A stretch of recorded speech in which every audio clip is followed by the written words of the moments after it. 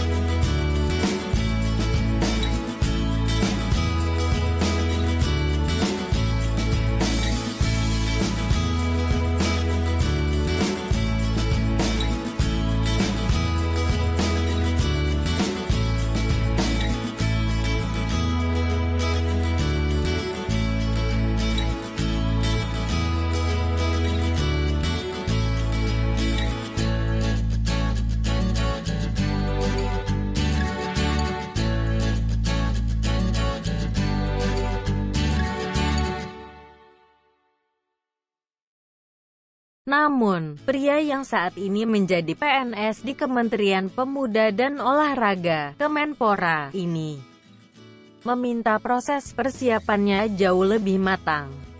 Apalagi potensi yang dimiliki Zori untuk menembus angka 9 detik cukup terbuka. Semoga harapan kami itu bisa terrealisasi, kata pria kelahiran Surakarta, tanggal 8 September tahun 1983 itu.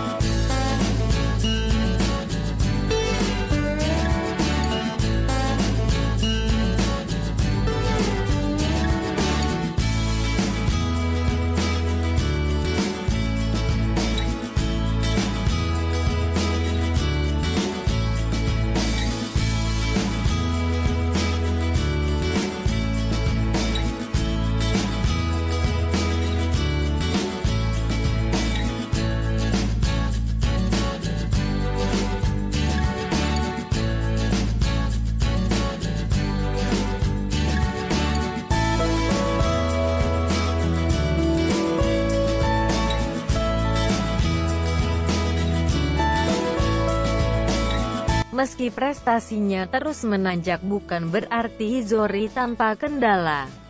Pelatih lari jarak pendek PB Pasi Eni Nuraini sebelumnya menjelaskan jika atlet berusia 19 tahun ini masih masalah untuk start.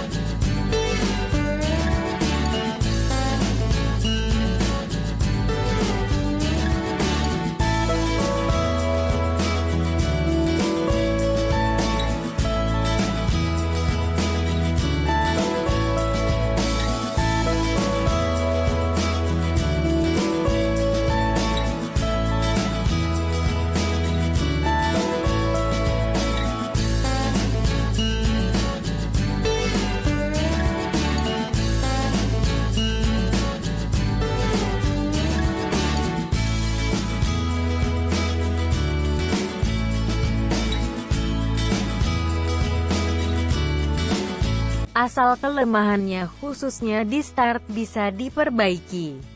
Zori pasti bisa menembus jajaran atlet dengan waktu di bawah 10 detik. Saya biarkan latihannya mengalir saja, tidak ditekan, kata Eni.